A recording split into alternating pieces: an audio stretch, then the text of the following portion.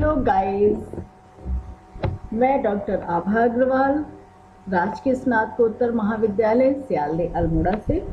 आज हम लोग जिस टॉपिक पर चर्चा करेंगे, वो है बहुराष्ट्रीय निगम या मल्टीनेशनल कॉरपोरेशंस मल्टीनेशनल कॉरपोरेशंस क्या है? मल्टीनेशनल में दो शब्दों से मिलकर बना है मल्टी और मल्टी का अर्थ है मैनी, यानी कि बहुत सारे नेशनल माने राष्ट्र। अर्थात जो कंपनियाँ बहुत एक से अधिक राष्ट्रों में कार्य करती हैं या उत्पादन का कार्य करती हैं, उनको हम मल्टी नेशनल कंपनियाँ कहते हैं। इन्हें हम मल्टी नेशनल कॉरपोरेशन भी कहते हैं। जैसे एक एग्ज़ाम्पल है कि कोको कोला कॉरपोरेशन इसका हेडक्वार्टर कहाँ है? यूएसए में। लेकिन इसकी जो ब्रांचेज हैं, वो बहुत सारे देशों में फैली हुई हैं। ठीक है जो वितरण का कार्य करती है या उनके प्रोडक्ट बनाती हैं, और टेक्नोलॉजी कहाँ से आती है? यूएसए से।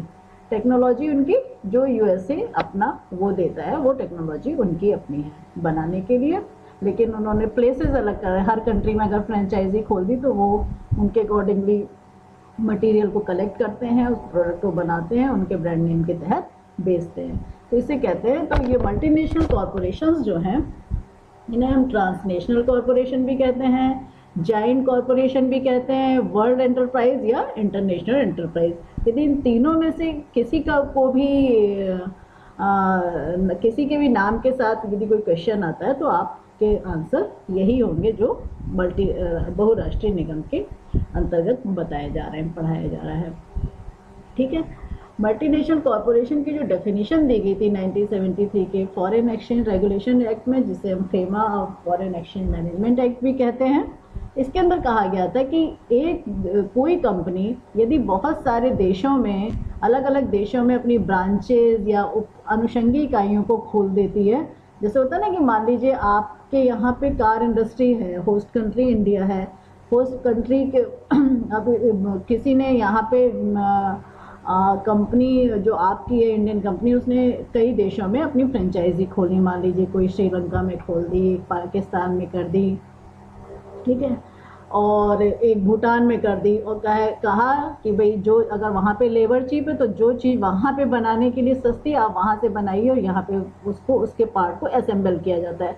अलग अलग देशों में अपनी फ्रेंचाइजी खोल के वहाँ पे उन पार्ट्स को बनवा कर और अपने होस्ट कंट्री यानी कि इंडिया में असेंबल करके फिर डिफरेंट कंट्रीज़ में उनको सेल किया जाता है। तो एक तो तरीका, इस तरह की कंपनियाँ होती कुछ कंपनियाँ होती जिनका प्रोडक्ट तो सारा का सारा होस्ट कंट्री में बनता है, लेकिन उसके जो सेल्स डिस्ट्रीब्यूशन जो चैनल्स हैं, वो अलग अलग कंपनियों में होते हैं। जैसे इस समय आप ऑनलाइन शॉपिंग करते हैं अमेजोन डॉट कॉम वगैरह ये सब क्या है?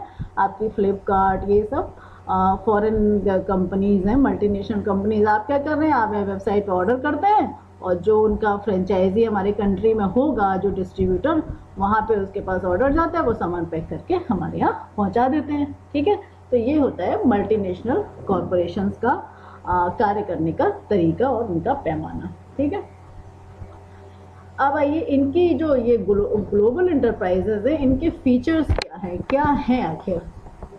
एक तो ये है ये जाइंट साइज़ के हैं इनका साइज़ बहुत बड़ा होता है जाइंट राक्षस जो होते नहीं दानव सामान्य इंसान के तुलना में बहुत बड़े होते हैं वैसे ही इनका भी जो साइज़ है साइज़ का अर्थ है कि जितना जो इनकी जो प्रोडक्शन कर, करते हैं प्रोडक्टिव कैपेसिटी बहुत ज़्यादा है और इनके फाइनेंशियल रिसोर्सेज बहुत ही ज़्यादा हैं। इसलिए इनको हम कहते हैं जाइंट साइज़ जो हमारे देश की किसी एक कंपनी के पास नहीं जितने होते हैं, उतना इन, उससे उसके कई कई गुना ट्रिलियन डॉलर्स में इनके पास पैसा होता तभी तो ये अलग अलग देशों में अपनी कंपनियाँ फैलाए हुए होते हैं।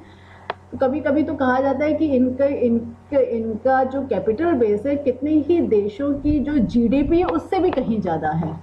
ठीक है तो ये भी होता है कि कहीं मल्टीनेशनल कॉरपोरेशन को अपने अपने देश में काम करने दिया तो कहीं ऐसा ना हो कि वो पूरे पूरे देश की संप्रभुता के लिए खतरा बन जाए। इसलिए बहुत ज़्यादा प्रिकॉशंस के साथ इन लोगों को इनवाइट किया जाता है अपने देश में काम करने के लिए। ठीक है? इसी को हम कहते हैं फॉरेन डायरेक्ट इन्वेस्टमेंट कभी कंपनियों को हम डायरेक्ट प्रोडक्शन के लिए इनवाइट करते हैं, कभी उनको सेल्स के लिए जगह देते हैं। जैसे रिटेल सेक्टर को खोलना होता है तो इस तरह से वो लोग अपना मार्केट एक्सपेंड करते हैं। ठीक है? और ये जो मल्टीनेशनल कंपनीज़ हैं, इन इनका एक, ये एक होस्ट कंट्री होता है, जो मेन कंट्री होता है, जिसे हम पेरेंट कंट्री कहते हैं, उसके बाद ही अनेक देशों में अपनी इस तरह से इनकी शाखाएँ फैली होती हैं। ठीक है? जिन्हें इनकी सब्सिडरी कहा जाता है। तो ये इनका कार्य करने का तरीका, इनके जो प्रोफेशनल्स होते हैं, वो बहुत ही हाई हाई हाईली स्किल्ड लोग होते हैं, क्योंकि एक साथ इनको बहुत ज़्यादा बड़े पैमाने पर, बड़े स्केल पर प्रोडक्शन प्रोसेस को ऑपरेट करना होता है, उसे सेल करना होता है और ह्यूमन रिसोर्स मैनेज करना होता है, सारी बुक कीपिंग करनी होती है। तो इसके लिए इनके जो प्रोफेशनल्स होते हैं, बहुत ही हाईली क्वालिफाइड होते हैं। वो उस देश के भी हो सकते हैं, जिस देश में उनकी फ्रेंचाइजी है या उनके अपने होस्ट कंट्री के भी हो सकते हैं।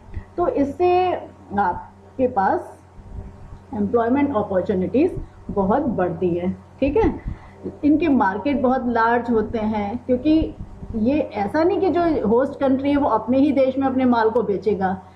ये मल्टीनेशनल यानी कि बहुराष्ट्रीय जो स्वभाव है जो बहुराष्ट्रीय नेचर है उसका अर्थ ही यही है कि उत्पादन भी विभिन्न राष्ट्रों में कर, करते हैं और वहाँ से इकट्ठा करते हैं असेंबलिंग करते हैं और उसके बाद उसकी सेल्स भी विभिन्न राष्ट्रों में होती है यानी कि beyond physical boundaries of their own nation ठीक है? तो ये था आपका, इनकी जो फीचर्स हैं, वो ये थे। अब आइए इनकी कुछ मेरिट्स को देखते हैं। एम्प्लॉयमेंट अपॉर्चुनिटीज़ जब भी मल्टीनेशनल कंपनीज़ जिसको अगर हम कहेंगे अगर हम इसे फॉरेन डायरेक्ट इन्वेस्टमेंट कहें तो इसे कहना गलत नहीं होगा। जब हम किसी बहुराष्ट्रीय निगम को अपने देश में काम करने के लिए इनवाइट करते हैं, क्योंकि ऐसे ही तो वो नहीं आ सकते, देशों के बीच में करार होता है, समझौता होता है। तो जब वो यहाँ पर आएँगे, काम करेंगे तो सारा का सारा मैन पावर उनके देश का तो उठ के यहाँ नहीं जाएगा। हमारे यहाँ के देश के जो इस हाईली स्किल्ड लोग हैं, उनके लिए एम्प्लॉयमेंट अपॉर्चुनिटीज़ जो बहुत ही वाइड हो जाती हैं, ठीक है? दूसरी बात है, इनकी जो एडवांस्ड टेक्नोलॉजी होती है, क्योंकि ये लोग बहुत ज़्यादा अपने आप को अपडेट करते हैं नए नए तरीके किसी भी कार्य को उत्पादित कर, उत्पादन करने के नवीनतम तरीकों को अपनाते हैं। ठीक है? जैसे अब एडवांस टेक्नोलॉजी क्या हुई? जैसे आप पहले मिट्टी के चूल्हे पे खाना बना रहे थे, फिर टेक्नोलॉजी आई, है? फिर क्या स्टोव पे खाना बनने लगा? स्टोव के बहुत सारी वैरायटी आई, है? कभी बत्ती वाला स्टोव होता था, कभी गैस वाला स्टोव होता था, कभी उस स्टोव का आकार नीचा किया गया तो ये सब क्या है? टेक्नोलॉजिकल इनोवेशंस हैं, फिर आप गैस चूल्हे पे बड़े पे काम करने लगे, फिर कुक टॉप आ गया, फिर माइक्रोवेव आ गया, फिर उसी में आपने चिमनी पे काम करना शुरू किया। तो किसके तहत हुआ? जब हमने टेक्नोलॉजी को को अप्लाई किया, हमेशा हमने कार्य करने की नई नई पद्धतियों को अपनाया और जो कंज्यूमर्स हैं, उनके लिए उस प्रोडक्ट को अप्लाई करना और वो प्रोडक्ट जो कार्य करता है, उसको कार्य करने को आसान बनाना। तो ये लोग बहुत ही एडवांस टेक्नोलॉजी का यूज़ करते हैं। ठीक है, जैसे कोई टीचर है, आपको एक बस कोई कुछ लोग होते हैं, खाली एक लक्ष्मी टॉप टेन आया, उसी से पढ़ाते रहते हैं तेईस साल तक। है? इसका मतलब वो खाना पूर्ति करना, क्योंकि उनको तो तनख्वाह मिल रही है। कुछ लोग होते हैं, अपनी नवीनतम जानकारी बुक्स पढ़ते हैं मैगजीन्स पढ़ते हैं, उसके थ्रू देते हैं। कुछ उससे भी बढ़कर होते हैं कि हमेशा इंटरनेट के उसमें रहते हैं देश विदेशों की भी जानकारियाँ इकट्ठी करते हैं। वहाँ के पब्लिकेशंस को पढ़ते हैं। कुछ होते हैं और और और आपको कंप्यूटर के माध्यम से पढ़ाते हैं प्रोजेक्टर के माध्यम से पढ़ाते हैं। हैं, कुछ आपके अंदर भी बहुत ज़्यादा इनपुट एडिशन करते हैं। तो ये सब क्या है? टेक्नोलॉजी तो कौन सा ज़्यादा सर्वश्रेष्ठ होगा? जो जितनी हाई एडवांस टेक्नोलॉजी का यूज़ कर रहा है और अपने बच्चों को सिखा पा रहा है और उनको दे पा रहा है तो वही तो अच्छा टीचर होगा। उसकी जगह जगह डिमांड होगी, वो जहाँ भी अप्लाई करेगा, वहाँ चला जाएगा। या अगर ऐसे मेमोरेंडम होते हो कहीं भी पढ़ाने जा सकता है। तो ये होता है एडवांस टेक्नोलॉजी जिसके थ्रू आपका मार्केट एक्सपेंड करता है। एक्सपोर्ट प्रमोशन जब भी फॉरेन डायरेक्ट इन्वेस्टमेंट या मल्टीनेशनल कंपनीज़ को इनवाइट करते हैं, इनके ऊपर हम कुछ थोड़े से रेस्ट्रिक्शंस इस रूप में लगाए जाते हैं कि भाई आप जितना प्रोडक्शन करेंगे, उसका इतना परसेंट आपको एक्सपोर्ट करना है। ठीक है? जैसे अभी की जो हमारे कैपिटल गुड्स में जो भी एफ़ था, उसमें पहले था कि वो जितना कैपिटल गुड प्रोड्यूस करेंगे, उसका 90 परसेंट उनको एक्सपोर्ट करना है और टेन परसेंट के लिए उनका यहाँ का मार्केट था। लोकल मार्केट में बेचेंगे। अब उसको रिलैक्स करके 75 एंड 25 किया गया है। अर्थात कि 75 परसेंट उनको एक्सपोर्ट करना है, बाकी 25 परसेंट वो लोकल मार्केट में सेल कर सकते हैं। ठीक है? तो इस तरह से क्या होता है, हमारे पास विदेशी मुद्रा आती है, जिससे हम जो और आयात करते हैं अपने देश के लिए, उसका भुगतान करने में हमें आसानी रहती है। ग्रोथ ऑफ़ डोमेस्टिक फॉर्म्स जब इस तरह के बड़े जॉइंट कंपनियाँ हमारे यहाँ निवेश करती हैं और उत्पादन की प्रक्रिया करती हैं तो बहुत सारी जो अपने कार्य हैं छोटे मोटे उसको वो आउटसोर्स करते हैं, किसको? डोमेस्टिक फॉर्म्स को। ठीक है, मान लीजिए उनकी उनको अपने वेबसाइट्स बनवाने हैं या कोई छोटा मोटा प्रोडक्ट बनवाना है तो उन्होंने अपनी इंडियन फर्म को कहा कि आप इतने माल की सप्लाई कर दीजिए, या अपना जो सारा अकाउंटेंसी वर्क है वो दे दिया कि ये सब करवा कर आप भेजिए। तो ये क्या, इससे क्या है तो जो हमारी जो डोमेस्टिक घरेलू फर्म है, उनको भी विस्तार होता है, उनको भी अपॉर्चुनिटीज़ मिलती है। ठीक है? फॉरेन एक्सचेंज विदेशों से फिर भाई जब एक्सपोर्ट प्रमोशन है तो विदेशी मुद्रा का भी आता है foreign exchange goods and services का भी होता है, पूंजी का आवागमन होता है टेक्नोलॉजी का हस्तांतरण होता है, ये सारी इनकी मेरिट्स के अंतर्गत आ जाता है, ठीक है? अब इनकी कुछ लिमिटेशंस भी हैं, यानी कि मतलब कुछ मामलों में इनका ना होना भी अच्छा माना जाता है, क्योंकि ये लोग इतनी ज़्यादा एडवांस टेक्नोलॉजी का यूज़ करते हैं, जिसमें बहुत सारी चीज़ें भी है। जैसे आ, आप इसको मैंने एक एग्ज़ाम्पल ले लिया है ये कि जैसे फेसबुक है मान लीजिए ये सोशल साइट है। ये क्या है? एक तरह से फेसबुक क्या है? आपका चिट चैट का ज़रिया भी है आपका एडवर्टीजमेंट का प्रोडक्ट का एडवर्टाइजिंग कितनी शार्प इसके थ्रू हो रही है। आप देखते हो जैसे आप फेसबुक खोल के वेल थ्रू पहले तो आप केवल ये केवल बातचीत का माध्यम था। और अपनी डेटा ट्रांसफ़र का था। अब हम लोग हमेशा देखते हैं कि जो चीज़ें हमें पहले पता नहीं थी या बाज़ार में जाओ, हमें पता नहीं है, यहाँ पे भाई काशीपुर के मार्केट में वो चीज़ नहीं आई तो हमें नहीं दिखती थी। अब उसके लिए कोई दिल्ली जा रहा है, कोई बॉम्बे जा रहा है तो सबके पास तो इतने मीन्स होते नहीं है कि भाई चले जाएँ वहाँ से बढ़िया से सामान खरीद के ले आए। तो फेसबुक क्या है? एक एडवर्टीजमेंट का बहुत ही सशक्त माध्यम है। अमेजन क्या है? ये आपकी ऑनलाइन शॉपिंग कंपनी है। ट्विटर गूगल ये सब सर्च इंजन इनके माध्यम से हम लोग कितना ज़्यादा इस समय इंटरनेशनल वर्ल्ड के कनेक्शन में आ गए हैं। और एक क्लिक पे आपको पूरे प्रोडक्ट घर बैठे चाहे, और वो भी विदाउट एनी टाइम लिमिटेशन ये नहीं है कि आपको मार्केट जा रहा है, घर बैठे किसी भी समय खोलो, आपको सारी चीज़ें पता चल रही जिसका एक्सपोजर अभी तक हमें मिला ही नहीं था। लेकिन इनके साथ क्या होता है, हम ऑनलाइन शॉपिंग करते हैं। हमारा इंटरनेट बैंकिंग का अकाउंट होता है, हमारे एटीएम के नंबर्स सब हम इसमें फ़ीड करते हैं। तो इस समय इसमें डार्क नेट एजेंसी है जो इतना साइबर क्राइम हो रहा है हम हमको उसके खतरे में, हम चंगल में फंसते चले जाते हैं, हमें पता ही नहीं चलेगा कि कब आपका डेटा आपका अकाउंट साफ़ हो गया या कुछ हो गया। तो इस तरह की थ्रेट्स के में के में जो जाल है, जो नेटवर्क है, वो बहुत तेज़ी से फैल जाता है। तो थोड़ा इनके साथ, और चूँकि ये एम हैं, बिना ऑनलाइन वर्क के ऑनलाइन एडवर्टाइजिंग ऑनलाइन पेमेंट के बिना ये बहुत ज़्यादा आज के, आज आज की तारीख में उतना विस्तार नहीं हो पाएगा तो वो, इनको इन माध्यमों को चूज़ करना पड़ता है और जिसके साथ ये खतरे साथ में साइबर हैकर जैसी खतरे हम, हमारे पास आ रहे हैं, ठीक है? जिसके विषय में मैंने आपको सबसे पहला लेक्चर इस पर यही दिया था डिजिटलाइजेशन चैलेंजेस इन इंडिया है ना? तो वो इन्हीं सबसे जुड़ा हुआ है। अब दूसरा क्या है कि इन, ये लोग इनके साथ इनकी संस्कृति आती है। जैसे मान लीजिए जो फूडिंग इंडस्ट्री है हम लोग पहले एक ज़माना था ये मैकडोनल्ड वगैरह सब विदेशी कंपनियाँ हमारे यहाँ आई। इन्होंने अपने अपने अपने जो खाने के तरीके और अपने सर्विंग कुकिंग के तरीके हमारे पास जो फैलाए हैं। पहले हम लोग पिज़्ज़ा का नाम नहीं जानते थे अब पिज़्ज़ा इतना हो गया। ठीक है पिज़्ज़ा की कल्चर आ गई मोमोज लोग खा रहे सुनना ही नहीं था यही सारी चीज़ें बिकने लगी। अब आप लोग अपनी टिक्की और पकौड़ी भूल के जिसको देखो बच्चों नए बच्चों को क्या है बच्चे हमेशा अपने आप को जो भी सुपीरियर जो फ़ैशन है आई I मीन mean, जो उस समय का करंट है उससे बहुत जल्दी आइडेंटिफाई करते हैं। उनको तो कोई मतलब नहीं कि किस चीज़ में न्यूट्रिशन है किसमें नहीं है। जो चीज़ उन्हें लब्बो लुआव वाली सज्जा वाली दिखाई देगी और जो उनके फ्रेंड्स खा रहे हैं उसे ही खाना वो शुरू कर देंगे। तो इस तरह से हम लोग उनकी संस्कृति में बहुत ज़्यादा रचने बसने लगते हैं। फॉर एग्ज़ाम्पल इंटरटेनमेंट के थ्रू सीरियल्स के थ्रू उनकी संस्कृति अब पर परोसी जाती है, उनके कपड़े, है ना?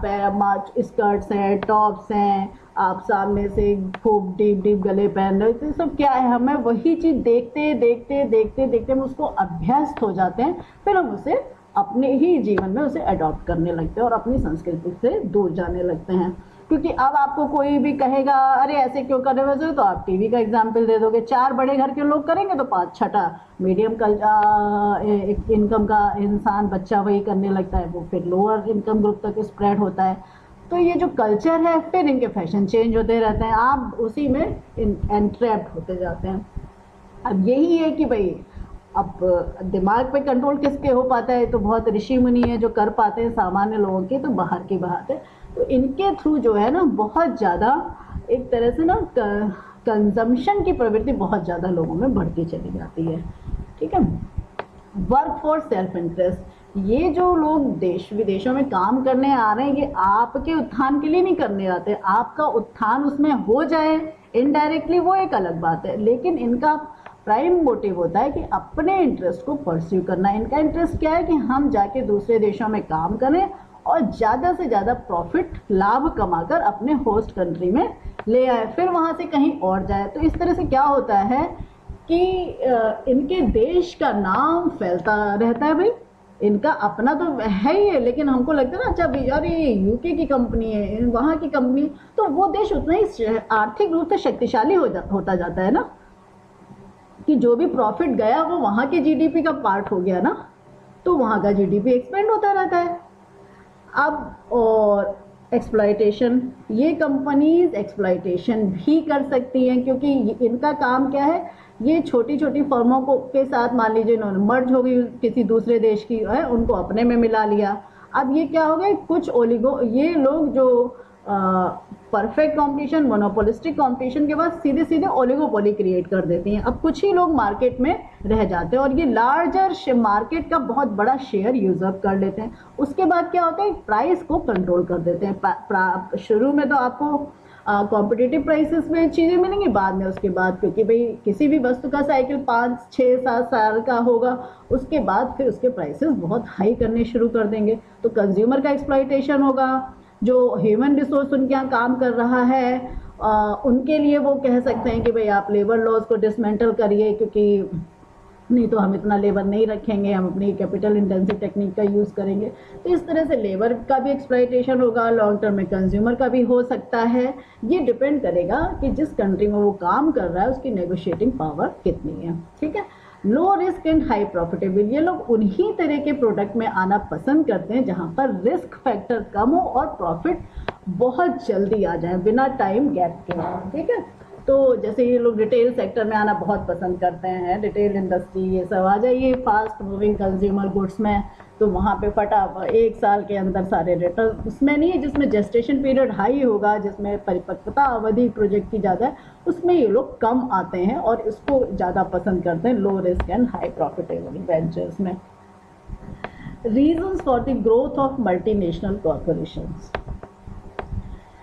reasons क्या है कि क्यों ये लोग इतने आगे बढ़ते जा रहे हैं? एक तो ये है कि इनकी जो जो इनका एक्सपेंशन ऑफ़ मार्केट टेरिटरी जब से हम, जब ग्लोबलाइजेशन के पीछे का मोटिव ही यही था कि सारे मार्केट इंटीग्रेट हो जाए, विभिन्न देशों के मार्केट एक हो जाएँ और उन पर बहुत ज़्यादा जो वस्तुओं और सेवाओं का जो मूवमेंट है, उस पर कंट्रोल बहुत ज़्यादा ना रहे और ऑपरेशन का एरिया बहुत ज़्यादा यूज़ हो जाए तो जितना आपका ऑपरेशन का एरिया यूज़ होता जाएगा ऑपरेशन मतलब कार्य करने का जो एरिया है अपने गाँव से फिर शहर शहर से मेट्रोपॉलिटन मेट्रोपॉलिटन से ट्रांसनेशनल पर आप पहुँच जाते हैं।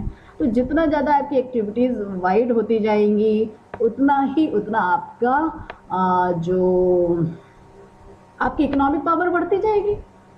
इकोनॉमिक पावर बढ़ती जाएगी तो आप ज़ाहिर सी बात है और अपना विस्तार कर सकते हैं। फाइनेंशियल सुपीरियोरिटी चूँकि इन देशों के पास बहुत ट्रिलियन डॉलर्स में पैसा होता है और ये लोग उतना ही इन्वेस्ट करते हैं तो इनकी जो क्रेडिट रेटिंग है वो बहुत हाई होती है। जितनी आपकी क्रेडिट रेटिंग हाई है तो उतना ही इनको जो एक्सटर्नल कैपिटल मार्केट है, जो विदेशी मुद्रा से संबंधित बाज़ार है, उसमें उस, उनको बहुत ज़्यादा आसान शर्तों पे अपना लोन उठाना हो जाता है, क्योंकि इनकी रिपेइंग कैपेसिटी बहुत हाई होती है, वो लोग आज लोन ले रहे हैं, आपको निर्धारित समय के अंदर ही पेमेंट कर देंगे। और utilization of high level of fund को ये बहुत ज़्यादा राशि का का इन्वेस्टमेंट है और रिटर्निंग है। तो इससे जो इनकी फाइनेंशियल सुपीरियोरिटी है, वो बहुत बहुत ज़्यादा होती है, ठीक है? कि जिसके कारण इनका जो ग्रोथ है, वो उसके फ्यूचर प्रॉस्पेक्ट्स बहुत हाई होते हैं। सपोज़ करिए, मान लीजिए एक स्टूडेंट गरीब है लोअर मिडिल क्लास का एक बहुत ही किसी एमएलए का बेटा है भैया। तो अब वो क्या होगा? एक ही क्लास में आप दोनों पढ़ रहे हैं, ठीक? अब हम उस, एक गरीब बच्चे को तो बेचारा एक राइटर की, मान लीजिए उसने किताबें खरीद भी नहीं तो किसी तरह बस उन्हीं से पढ़ेगा, हैं? और जो अमीर बाप का बेटा है, वो पता चले कई कई राइटर्स की बुक ले उसको मिल गई। राइटर्स की मिल गई उनके पापा की रेपुटेशन बहुत हाई है तो उनको घर में भी ट्यूशन मिल जाएगा कोचिंग मिल जाएगी। हम्म क्योंकि वो बहुत ज़्यादा पेमेंट कर सकते हैं utilization of high level of funds और अपने आप उसके घर पे एक एक राइटर की बहुत सारी बुक्स हैं सॉरी एक एक टॉपिक पे कई बुक्स हैं हैं कंप्यूटर्स भी है उसके पास, उससे पढ़ रहा है, उसके पास प्रोजेक्टर भी है, पढ़ने के भी बहुत नायाब तरीके हैं। वो टेक्नोलॉजी का भी बहुत इस्तेमाल कर सकता है। तो इस तरह से फ़र्क आया। तो उस बच्चे ने जिसने इतने हाई लेवल पे पढ़ाई करी है तो उसके भविष्य में एम्प्लॉयमेंट के जो अवसर हैं, वो कहीं ज़्यादा ब्राइट होंगे सुपीरियर होंगे। तो भाई, ज़ाहिर सी बात है तो फाइनेंशियल सुपीरियोरिटी जो होती है तो उससे आगे बढ़ने, उससे क्या होता है, आप जो इतना इनपुट लेकर आए हैं तो अगर, अब आप कहीं अप्लाई करेंगे किसी जॉब के लिए हायर से हायर उसी जिसमें उस तरह की क्वालिफिकेशन चाहिए तो आपको जल्दी से आपका अपॉइंटमेंट हो जाएगा। तो आपके विस्तार के जो प्रोस्पेक्ट है वो ज़्यादा हाई हुए तो वही चीज़ कॉरपोरेशन के तहत के साथ भी हो गई। एक डोमेस्टिक फर्म हो गई, एक मल्टीनेशनल फर्म होगी तो मल्टीनेशनल का ग्रोथ जो है वो बहुत शार्प होगा, क्योंकि उनके पास फाइनेंशियल सुपीरियोरिटी बहुत ज़्यादा फाइनेंस है और खूब उनको ऋण मिल जाता है, उनकी क्रेडिट रेटिंग बहुत हाई है, वगैरह वगैरह, ठीक है? दूसरी बात, इनकी मार्केट सुपीरियोरिटी है फाइनेंशियल भी है, अपने प्रोस्पेक्ट्स भी हैं, दूसरी इनकी मार्केटिंग स्ट्रेटेजीज बहुत हैं। एक तो पहला ये अपने एक ब्रांड नेम के तहत काम करती हैं। प्रोडक्ट मान लीजिए एक ही तरह का प्रोडक्ट कई लोग बना रहे हैं तो इनका ब्रांड नेम होगा। ये हमारा प्रोडक्ट है ब्रांड नेम जैसे मॉन्टे कार्लो के नाम से स्वेटर्स बिकते ही बिकते हैं। तो वेल रेपुटेड ब्रांड्स है। आपकी, कभी आप एलजी के लिए बहुत खरीदते थे, लोग एलजी के प्रोडक्ट्स बहुत थे, कभी सैमसंग बहुत हाई और ये क्या है ब्रांड नेम कोको कोला क्या है ब्रांड नेम नेस्ले क्या है ब्रांड नेम तो ये ब्रांड नेम बिकते हैं, इनके नाम से प्रोडक्ट्स बिकते हैं। तो आप ब्रांड नेम चढ़ें कैसे? आम जनता के मुँह पर तो इसके लिए जो इनकी, ये जो सेल्स प्रमोशन के जो टेक्निक्स हैं तो क्या है एडवर्टीजमेंट तो है ही है टीवी के द्वारा अखबारों के द्वारा इंटरनेट पे आपकी वेबसाइट्स हैं आपकी वेबसाइट्स खोलिए आपके सामने। हाजिर है पूरी इन्फॉर्मेशन आप यूट्यूब देख रहे हैं अपने कोई भी मनोरंजन का प्रोग्राम देखें तो साइड में आपके इनका एडवर्टीजमेंट आते रहते हैं ये ये और फिर केवल एडवर्टीजमेंट तक ही नहीं है आ, आपको उस प्रोडक्ट को कैसे प्राप्त करना है उसके लिए बड़े इजी तरीके बना दिए गए हैं। भुगतान के डिलीवरी के तो ये सब क्या सेल्स प्रमोशन टेक्निक्स कहलाती है। तो इनका जो मार्केट इंफॉर्मेशन सिस्टम है, ना केवल कंज्यूमर्स के लिए, बल्कि जो इनका सामान खरीद के फिर रीसेल करते हैं, उनके लिए भी बहुत ही आसान होता है। यानी कि आपको मार्केट पैसा दे दिया, आपको टाइम पीरियड दे दिया कि इतने समय के बाद भुगतान कर दीजिएगा। ठीक है सेलिंग स्ट्रेटेजीज होती है। प्रोडक्ट की क्वालिटी बहुत हाई होती है और टेक्नोलॉजिकली एडवांस होती है। जैसे मान लीजिए कपड़ा है कॉटन का कपड़ा है, वो आपका इंडियन है। अब उसकी मेंटेनेंस कितनी होती है? आप उसे खरीद लाते हैं, आपको गर्मी में सुकून तो बहुत देता है। आप कलफ लगाओ प्रेस कराओ। वही चीज़ यदि टेक्नोलॉजिकल उसमें टेक्नोलॉजी हो, है, इस तरह का रिसर्च एंड डेवलपमेंट किया जाए कि कैसे कॉटन वाले कपड़े का फील भी है, आराम भी मिलो मेंटेन ना करना पड़े, धो प्रेस करो, पहन के चल दो। तो ये क्या कहलाती है? टेक्नोलॉजिकल एडवांसमेंट ठीक है? फिर ये लोग न्यू हमेशा अलग अलग देशों में वहाँ के कस्टमर को पहले आइडेंटिफाई करते हैं कि कस्टमर चाहता क्या है। फिर उसी तरह के प्रोडक्ट को डिज़ाइन करके बनाकर अपना बेचते हैं। तो ये जब इतना कब होगा, जब उनके पास खूब पैसा होगा टेक्नोलॉजी होगी स्किल्स होंगी, ठीक है? एक्सपीरियंस हो, जैसे मान लीजिए कोई टीचर आ जाए, वो हमेशा नए नए तरीके से आपको पढ़ाता रहे, एक नया स्टाइल है तो उस उस टीचर की कितनी डिमांड होगी? आ, किसी पर्टिकुलर कॉलेज में। लेकिन इसके लिए ज़रूरी है कि फिर उस टीचर की उस क्वालिटी को पहचाना जाए और उसको तदनुसार प्रॉफिट भी होना चाहिए। ये नहीं है कि आ, वो बेचारा मेहनत करे जाए। जैसे भाई मल्टीनेशनल अगर इतनी मेहनत कर रही है तो उतना ही उनका माल बिकता है उनको प्रोडक्ट मिलता है उनके प्रो, उनको प्रॉफिट भी होता है और वो ग्रो करती हैं। अब अगर आप सबको एक ही स्केल पे कर दोगे तो सारा रिसर्च और इनोवेशन एंड अप हो जाएगा। टेक्नोलॉजिकल सुपीरियोरिटी ठीक है? अब ये लोग टेक्नोलॉजिकली बहुत एडवांस होते हैं। आप कुछ जिस चीज़ को आप सोच नहीं सकते, उस चीज़ को बनाने की वो कर लेते हैं ये। हाँ मार्केटिंग सुपीरियोरिटी और उस प्रोडक्ट में हम एक अपने बाबा रामदेव जी का भी नाम लेना चाहेंगे, जो अब आज एक बहुराष्ट्रीय कंपनी बन गए हैं। ठीक है? एक ब्रांड नेम बन गए बाबा रामदेव जी। क्यों? क्योंकि इनके जो इंफॉर्मेशन सिस्टम इनका जो प्रोडक्ट है, उसमें आ, सारे आयुर्वेद की जो अपनी क्वालिटी है उसके कारण आज रामदेव का भी प्रोडक्ट है। और इन्होंने भी अपनी सेल्स प्रमोशन के प्रोग्राम्स बहुत वाइड और विविड रखे। और जिस तरह से इन्होंने टीवी पर योगा का प्रसार किया उससे लोग पहले इनके नाम से आइडेंटिफाई हुए फिर इनके प्रोडक्ट्स को लोगों ने उसकी मतलब टेक्नोलॉजी क्या उसकी गुण क्वालिटी के कारण लोगों ने एक्सेप्ट करना। और ये आज एक इंटरनेशनल ब्रांड नेम बन चुका है। ठीक है? जैसे भाई दवाओं में होम के उसमें, जैसे जो हमारी कंज्यूमर ड्यूरेबल्स है, उसमें टेक्नोलॉजी चाहिए और जो हमारे ईटेबल्स हैं, जिसको हम बॉडी के अंदर लेते हैं, उसमें हमें क्या चाहिए? नेचुरोलॉजी जितना वो नेचर के निकट होता है, उतना ज़्यादा मार्केट उसका एक्सपेंड होता है। टेक्नोलॉजिकल सुपीरियोरिटी भाई टेक्नोलॉजी के नाम पे तो मल्टीनेशनल कंपनीज़ जानते हैं, इनका जो प्रोडक्शन करने का तरीका होता है, उसमें कैपिटल इंटेंसिटी बहुत हाई होती है, यानी कि जो कैपिटल लेबर रेशियो होता है, वो बहुत हाई होता है। एक होता है ना कि हम लोग हर काम हाथ से कर रहे हैं, मान लो घर में आटा ही गूंदना है, एक होता है आटा आपने हाथ से गूंदा, ठीक है? और एक होता है आटा आपने फ़ूड प्रोसेसर में डाला, जिसमें कहीं भी आपकी फिंगर टच नहीं करती, आपकी धुला हुआ बर्तन है सामान है, उसी के अंदर आटा गुंद गया। तो ये क्या है टेक्नोलॉजिकल सुपीरियोरिटी इसमें क्या है? टाइम तो बच ही रहा है और काम बहुत ज़्यादा मात्रा में और इवन क्वालिटी का, एक जैसी क्वालिटी का हुआ, कम समय में हुआ प्लस हाइजीन लेवल बहुत हाई जब आप खाना खाते हो तो आपको यही तो लगता है, पता नहीं उसके नेल्स कैसे होंगे, पता नहीं वो खाना बनाते बनाते अपनी नाक में हाथ ना डाल दे, कहीं और कुछ ना छू दे, जिससे ना संक्रमण का खतरा रहता है। तो ये इनकी टेक्नोलॉजिकल सुपीरियोरिटी थी। इनका हर काम बहुत ही फाइन और बहुत ही नीट और बहुत ही इनपुट ओरिएंटेड होता है। ठीक है? एक होता है हैंड से काम करना, एक उससे। ठीक? अब अब डेवलपिंग कंट्रीज़ के पास यही समस्या होती है कि एक तो हम लोग क्यों मल्टीनेशनल कंपनीज़ को अपने यहाँ इनवाइट करते हैं, कि आइए और हमारे यहाँ बनाइए? क्योंकि अब भाई, अगर हमें उसी क्वालिटी का सामान प्रोडक्ट करना है तो हम, हमारे पास रॉ मटेरियल इंपोर्ट करने के लिए पैसा नहीं है, हमारे पास कैपिटल इक्विपमेंट उस तरीके के नहीं होते टेक्नोलॉजी नहीं होती। इसलिए हमारे पास चूँकि इस तरह के संसाधन नहीं है तो हम उनसे कहते हैं, आप हमारे यहाँ आकर ये सामान बनाइए, जिससे क्या होता है, हमें इम्पोर्ट करने के लिए जो फॉरन एक्सचेंज चाहिए, उसकी ज़रूरत नहीं होती। हमारे यहाँ के लोगों को रोज़गार भी मिल जाता है और हम उनकी टेक्नोलॉजी से भी न्यूनाधिक मात्रा में अवगत होते रहते हैं। ठीक है? डेवलपिंग कंट्रीज़ के पास उस तरह की नॉलेज भी नहीं होती है कि उस तरह का प्रोडक्ट बना पाए।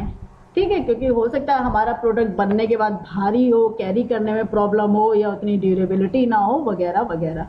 तो यही तो यहीं पर तो नॉलेज पैसा और टेक्नोलॉजी तीन का खेल यही है और आपके पास ह्यूमन रिसोर्स उस तरह के होने चाहिए। ठीक है? लैक ऑफ़ इंडस्ट्रियलाइजेशन हमारे औद्योगिकरण उतना नहीं है, इस वजह से भी हमें इन लोगों को बुलाना पड़ता है, क्योंकि हमारे पास मान लीजिए कैपिटल और लेबर है, लेकिन हमें उतनी नॉलेज ही नहीं कि हम इसे कैसे एम्प्लॉय करें, या हमारा होगा लेबर ही इतना स्किल्ड नहीं कि उस तरह के काम को कर सके। जैसे आपको घर पे आपको सर्वेंट्स रखते हैं होते हैं, ठीक है? वो लोग आ तो जाते हैं उनको एक एक चीज़ बताइए, ऐसे करो ऐसे करो ऐसे करो ऐसे करो। जब तक वो ट्रेंड होंगे, छोड़कर चल देंगे। तो कोई भी इस तरह की संस्थाएँ हर जगह नहीं कि हमको ट्रेंड मैन पावर मिले जो हमारे काम को इफेक्टिवली कर ले और हमारा समय बचे, क्योंकि पैसा तो उतना ही खर्च हो रहा है, लेकिन उनसे जो आउटपुट मिलता है वो उतना नहीं होता है। तो यही फ़र्क है ट्रेंड और अनट्रेंड में और डोमेस्टिक और मल्टीनेशनल में। फिर इनके प्रोडक्ट बहुत ही हाईली इनोवेटिव इनोवेटिव वाले, वो हमेशा नए नए चेंजेस करते रहते हैं। किस आधार पर चेंजेस करते हैं? उनका रिसर्च डेवलपमेंट डिपार्टमेंट बहुत हाई होता है। प्लस रिसर्च एंड डेवलपमेंट के लिए वो किसके लिए कंज्यूमर के लिए प्रोडक्ट्स बना रहे हैं ना तो हमेशा के वाई सी उनका बहुत स्ट्रॉन्ग है। नो योर कस्टमर कस्टमर से फीडबैक लेना कस्टमर सर्वे करना, वो आखिर क्या चाहता है? कस्टमर के दिमाग में क्या घूम रहा है? आप पहले झाड़ू लगाते थे? झाड़ू लगाने, धूल उड़ रही है कपड़े गंदे हो गए, सिर में धूल पहुँच गया कोई कंपनी आई, उसने एक वैक्यूम क्लीनर का इनोवेशन कर दिया। Within the vacuum cleaner, अब उसके साथ इतने पार्ट्स हैं, ये लगाइए, वो लगाइए, दूसरा इनोवेशन हुआ, जी भाई, एक है, एक सीधी सी स्ट्रिक लो और ये ऐसे झाड़ू लगाते हो दिखती भी जाए, धूल आ रही है। उसके ऊपर और इनोवेशन पोछे तक में इनोवेशन हो गई, यूँ घुमाओ, गोल गोल, वो अंदर घूमता जा रहा है, आप देख रहे हो ना सारे एडवर्टीजमेंट ये सब क्या है? प्रोडक्ट इनोवेशन कपड़ों में कितना इनोवेशन हो गया? हमें भी लगता था हाँ पहले साड़ी बांधे, रो प्लाजो आ गए जीन्स आ गई।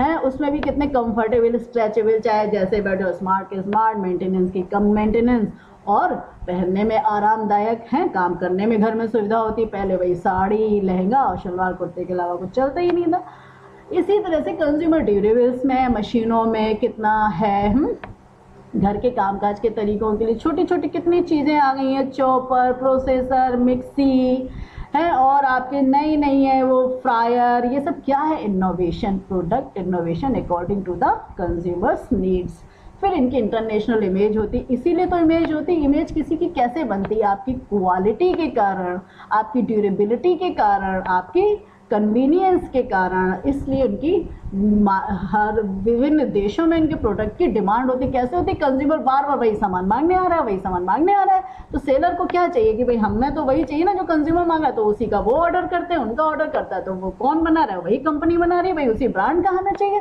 हमें और कुछ नहीं पहनना भी, हमें तो वही चाहिए, है ना? तो कुछ ब्रांड नेम से लोग चिपक जाते हैं। तो इस तरह से इनका मार्केट बढ़ता जाता है, इनकी इमेज स्ट्रांग होती जाती और ये और जाइंट से भी बढ़कर जाइंट होते जाते हैं। तो ये था आपका मल्टीनेशनल कॉरपोरेशन इसके साथ ये है, आप कुछ इनकी जो मल्टीनेशनल कंपनियाँ हैं, आप इसे विकीपीडिया में, मेरे पास इस समय टाइम नहीं है, देख लीजिएगा कि कौन कौन सी फॉरेन कंपनियाँ हैं कौन कौन सी इंडियन मल्टीनेशनल है कौन कौन सी फॉरेन मल्टीनेशनल कंपनियाँ हैं, और उनका कितना कितना इस समय इन्वेस्ट किस किस मतलब किस किस देश में मत करिएगा टोटल उनका कितना इन्वेस्टमेंट है तो उससे आपको कंपनियों का साइज़ पता चल जाएगा। ठीक है? दैट्स ऑल आई होप कि आपने इस लेक्चर को इन्जॉय किया होगा।